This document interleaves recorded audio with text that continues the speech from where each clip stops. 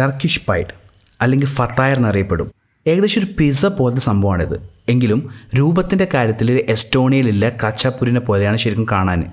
അപ്പോൾ നമുക്കിതിന്റെ ബേസ് ഉണ്ടാക്കണം. അതായത് ബ്രെഡ് ഉണ്ടാക്കണം. അതിനുവേണ്ടി മൈദ അതിലേക്ക് നമ്മൾ പഞ്ചസാര ഈസ്റ്റ് പിന്നെ ഓയിൽ അതുപോലെ തന്നെ ഉപ്പും പിന്നെ ചൂടുവെള്ളം അതായത് ഇളം ചൂടിലെ വെള്ളം കൂട്ടി നമ്മൾ മാവ് കുഴച്ച് റെഡിയാക്കി വെക്കണം.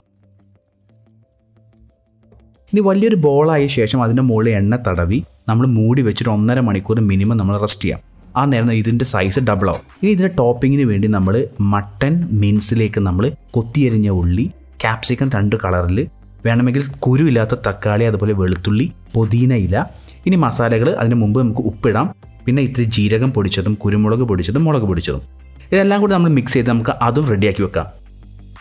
ഒന്നര മണിക്കൂറിങ് റെസ്റ്റ് ചെയ്യണം. നമ്മുടെ മാവ് റെഡി ആയിട്ടുണ്ട് ഇവിടെ. നല്ല ഡബിൾ സൈസ് ആയിട്ടുണ്ട്. ഈ സംഭവം നമ്മൾ ഇനി ഉരുട്ടി നമ്മൾ ഒരു ഷേപ്പിലേക്ക് എത്തിക്കണം. ഇനി എത്ര ബ്രെഡാണ് നമ്മൾ ഉണ്ടാക്കുക അതിന് വേണ്ടി നമ്മൾ സ്പ്ലിറ്റ് ചെയ്ത് നമ്മുടെ ഓരോ പീസും നമ്മൾ ഉരുട്ടി ബോളാക്കിയ ശേഷം നമ്മൾ ഇതൊരു തോണി ഷേപ്പിൽ പരത്തിയെടുക്കണം. നമുക്ക് തോണി ഷേപ്പിൽ പരത്താൻ കാരണം വെച്ചാൽ ഇതിന്റെ ഷേപ്പ് ഇതായതുകൊണ്ടാണ്. നിങ്ങൾക്ക് നോർമൽ ഫ്ലാറ്റ് പിസ്സ പോലെ ഇത് ഉണ്ടാക്കാവുന്നേ ഉള്ളൂ.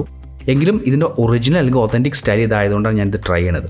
അപ്പോൾ നീണ്ടു വന്നിട്ട് ഇതിലേക്ക് നമ്മുടെ മസാല ഫുള്ളായിട്ട് നമ്മൾ സ്പ്രെഡ് ചെയ്ത് നമ്മുടെ അതിന്റെ സൈഡ് ഇതുപോലെ ഒന്നിന് മുകളിൽ ഒന്ന് വെച്ച് എല്ലാ ഭാഗവും അതായത് എല്ലാ സൈഡും അതിന് ഉള്ളിലേക്ക് മടക്കി നമ്മൾ റെഡിയാക്കണം രണ്ട് തരത്തിലാണ് ഞാൻ ഇവിടെ ഉണ്ടാക്കുന്നത്. ഒന്ന് ചീസും ചീസ് ഇല്ലാത്ത മോഡലും. ഇനി ചെയ്യേണ്ട കാര്യം എന്താ വെച്ചാൽ ഒരു എഗ് വാഷ് ഇതിന്റെ മുകളിൽ ചെയ്യാനുണ്ട്. നമുക്ക് എഗ് വാഷ് അല്ലെങ്കിൽ ബട്ടർ വാഷോ ചെയ്യാം. അതായത് ലൈറ്റ് ബ്രൗൺ ആവാൻ വേണ്ടിയിട്ടാണ്.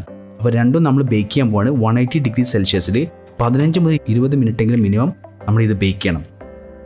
അപ്പം ഇതാണ് നമ്മുടെ ഫത്തായർ. അപ്പോൾ ട്രൈ എന്ന് പറഞ്ഞുകൊണ്ട് ബൈ ഫ്രം ആഹാരം.